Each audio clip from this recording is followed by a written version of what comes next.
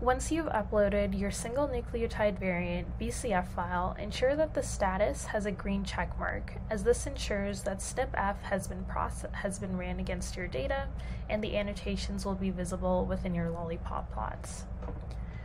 Once your data is ready for use, head over to your workspace.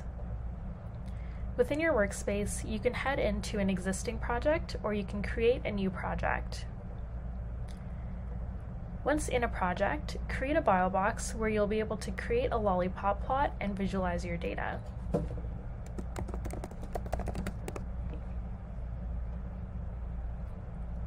From here, select Lollipop and select the type of data and the file that you would like to work with.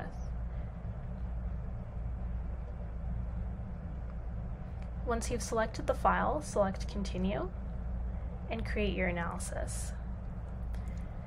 Within the lollipop plot, you'll be able to see and sort the number of SNVs associated with each gene. And you can select lollipop to actually create your plot.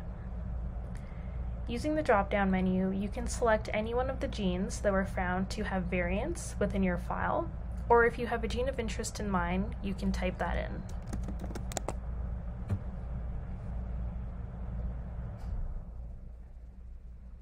Once you select your gene, the lollipop plot will be created automatically.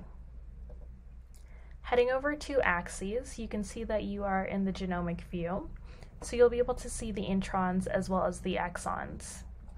Hovering over either the variants or the introns or the exons provide you with information about that specific region. The lollipop plot is accompanied by a legend explaining each of the SnpEff annotations that were found within your dataset. You can switch to cDNA mode, where you'll be able to add and remove protein tracks. At any point, you can zoom in or out to a specific region within the chromosome, as well as download the plot to be used in a presentation or a publication.